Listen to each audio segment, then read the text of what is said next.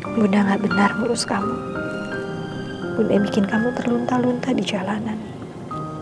Sampai akhirnya kamu kecelakaan seperti itu.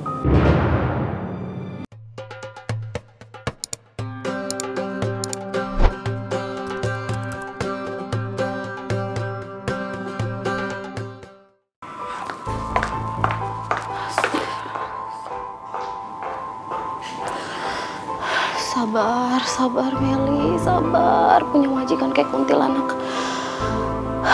Tapi aku penasaran deh. Itu tadi suara yang di handphone kayak kayak pernah kenal. Siapa ya? Om, please Om, lepasin Aura Om. Lepasin, lepasin, lepasin. Anak ini biar aku yang urus. Kamu gak akan pernah bisa Kamu udah jahat sama awas mbak. Mbak, mbak urus aja tuh panti. Dan lo jadi ku campur urusan gua. Astagfirullahaladzim. Ya itu benar, itu suaranya kayak Om Billy. Astaga, emang apa iya? Tapi mana mungkin Om Billy bisa kenal sama nyonya orang orang kaya? Aduh, ya Allah, semoga aja semuanya salah, semoga ini semuanya nggak benar.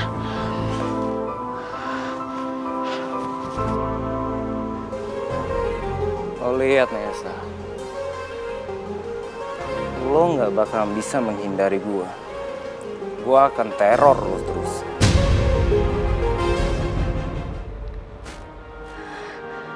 Aduh, bagaimana ini Mbak Naya? Ibu kepikiran terus. Mana tadi juga Tasya waktu datang itu dalam keadaan mukanya pucat terus badannya juga lemah. Iya, Bu. Sekarang jam berapa ya, Bu?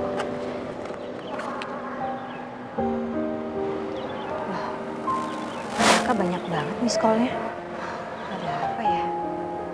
Bu, sebentar ya saya mau telepon balik dulu. Iya Mbak.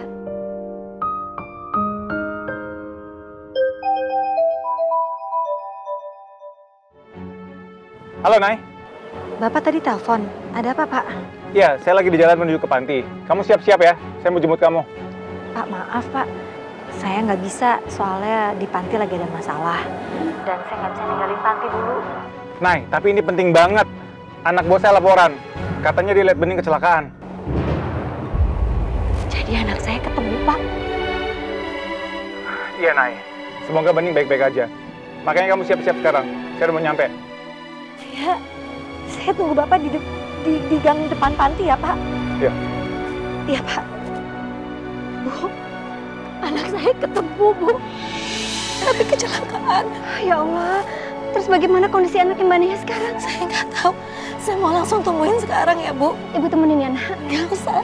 Ibu cari Tasya aja. Tasya kan juga lagi sakit. Biar saya ajain sendiri ke sana. Mudah-mudahan anaknya Mbak Naya dalam keadaan sehat-sehat ya. Saya pamit, Bu. Tasya.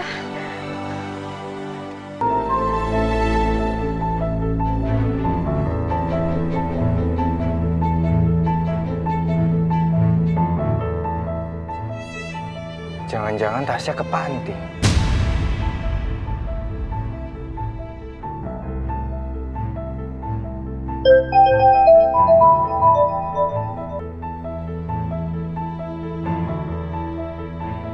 Ya, halo. Halo. Eh, bener nggak ya ini nomornya Gisel? Saya suaminya, ini siapa ya? Oh, ini saya saya temannya. Oh maaf, saya lagi ada urusan mendesak, nggak bisa lama-lama nelpon. Nanti aja ya. Oh iya, iya. makasih makasih.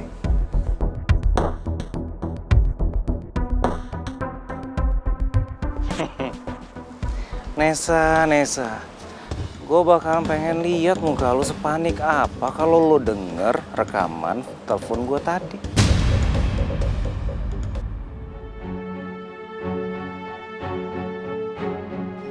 Nay, ayo cepat masuk, Nay.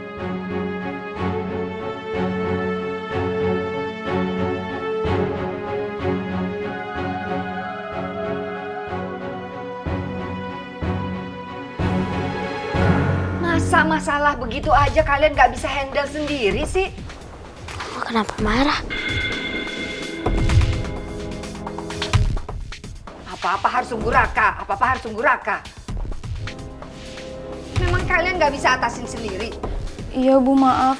Tapi tadi tamunya sampai mengancam akan lapor ke polisi Bu, kalau sampai barangnya yang hilang itu nggak ketemu.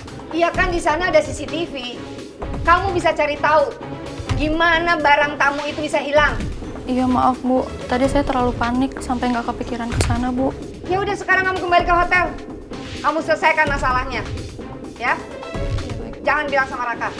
Baik Bu, kalau begitu saya permisi dulu ya Bu ya. Iya, iya.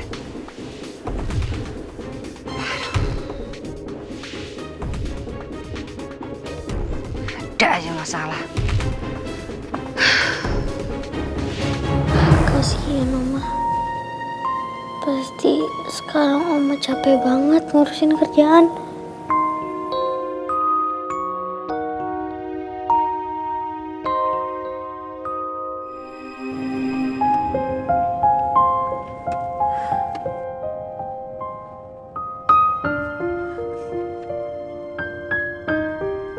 Bening, maafin Bunda. Bunda nggak benar ngurus kamu. Bunda bikin kamu terlunta-lunta di jalanan. Sampai akhirnya kamu kecelakaan seperti itu.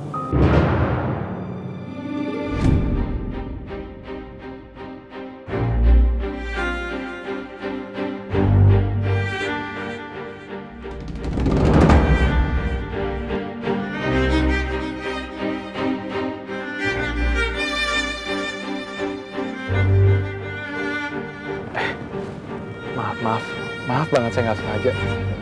Saya cuma mau ngasih ini buat kamu. Makasih, Pak. Sama-sama.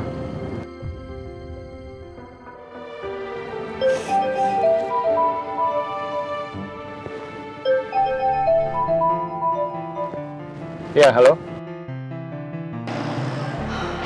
Pak, anak yang tabrakan tadi telah dibawa ke rumah sakit Medika. Eh, rumah sakit medika yang di Jalan Sunda Kelapa maksud kamu? Iya Pak, betul. Sekarang Pak, saya juga mau ke sana. Oke, oke, makasih. Saya ke sana sekarang juga ya. Baik Pak, sama-sama. Gimana keadaannya, Pak? Saya masih belum tahu, Nay. Udah kamu tenang dulu, sabar. Kita berdoa. Semoga Bening baik-baik aja. Ya.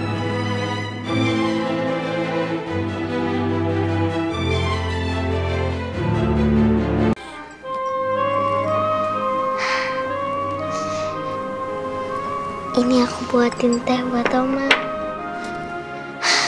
Oma pasti lagi capek banget yang ngurusin kerjaan Oma. Oma minum aja dulu tehnya, biar capeknya hilang. Ya udah, makasih ya. Eh, tunggu. Kenapa Oma? Lain kali, kamu nggak usah ke dapur sendiri. Kalau mau apa-apa, kamu bisa panggil Bisiti. Ya? Kamu nggak usah buat sendiri. Kalau kena air panas gimana? Kan bisa luka bakar. Ingat ya, dapur itu bukan tempat buat anak-anak. Ya Oma, aku minta maaf. Ya.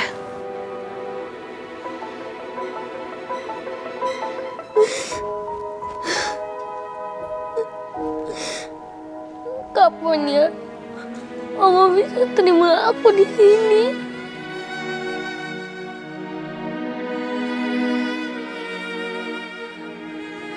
Kenapa ya?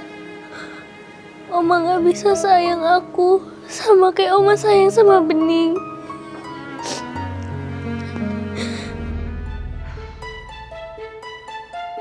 Aku nggak boleh tinggal diam. Aku harus merubah data di surat wasiat Mas Erlangga.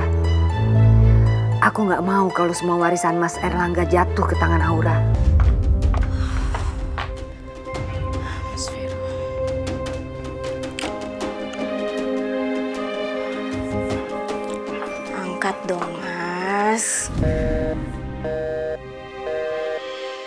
Gimana sih nih orang? Masa aku telepon dari tadi nggak diangkat juga? Hah? Ini semua gara-gara anak gak tahu diri itu.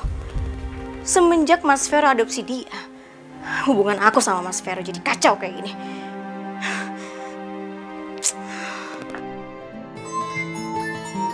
Pasti Mas Vero.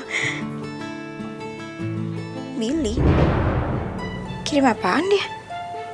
Alah, palingan juga duit lagi. Halo. Uh, bener nggak ya ini nomornya Gisel? Saya suaminya, ini siapa ya? Oh ini saya saya temannya. Oh maaf, saya lagi ada urusan mendesak, nggak bisa lama-lama nelpon. Nanti aja ya. Astaga. Billy bisa tahu nomornya Mas Vero dari mana ini?